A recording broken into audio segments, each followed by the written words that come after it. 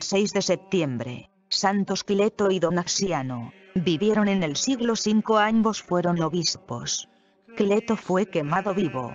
Donasiano murió en el desierto, deportado por el rey Unérico, en torno al año 484. En el año 484, Humérico, rey arriano de los vándalos, ordenó que todas las iglesias cristianas del África fueran clausuradas y confiscados los bienes del clero para entregarlos al pueblo africano por mandato real, congregaron a los obispos en el palacio, siendo conducidos lejos de la ciudad, y ordenados a que marcharan solos hacia el destierro. Ante tal injusticia, Donasiano y otros cuatro obispos de la provincia de Visaseno, reunieron a numerosos cristianos para protestar frente a las puertas de la ciudad.